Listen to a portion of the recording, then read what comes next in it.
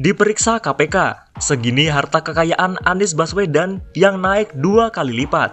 Gubernur DKI Jakarta Anies Baswedan telah menjalani pemeriksaan di Komisi Pemberantasan Korupsi pada Rabu 7 September 2022. Pemeriksaan ini terkait adanya dugaan korupsi dalam penyelenggaraan ajang balap mobil listrik Formula E di Jakarta pada Juni 2022 lalu. Setelah diperiksa selama 11 jam, Anies mengaku senang dapat memberikan keterangan kepada penyidik KPK. Ia berharap dengan pemeriksaan ini, kasus dugaan korupsi dalam ajang Formula E bisa jelas dan benerang. Sebagaimana diketahui, kasus korupsi erat kaitannya dengan kekayaan pejabat yang bersangkutan.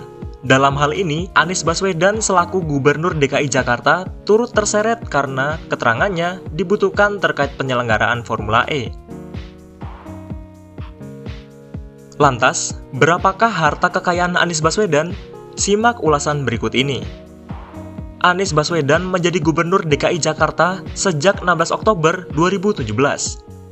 Masa jabatannya akan berakhir pada 16 Oktober 2022 mendatang atau genap 5 tahun jabatannya. Selama menjabat sebagai Gubernur DKI Jakarta, Anies Baswedan merupakan salah satu gubernur yang rajin melaporkan harta kekayaannya pada KPK.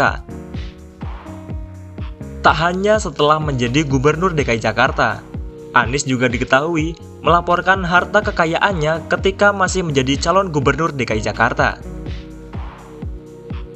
Dikutip dari laman LHKPN KPK, Anies Baswedan melaporkan harta kekayaannya saat masih menjadi calon gubernur DKI Jakarta, yakni pada 20 September 2018. Saat itu harta kekayaannya diketahui sebesar 7 miliar rupiah, atau tepatnya 7 miliar 395 juta 972 605 rupiah. Kemudian pada 27 Desember 2020, Anies kembali melaporkan harta kekayaannya pada KPK. Saat itu diketahui bahwa harta Anies Baswedan malah turun setelah ia dilantik menjadi gubernur DKI Jakarta, yakni menjadi 5 miliar rupiah.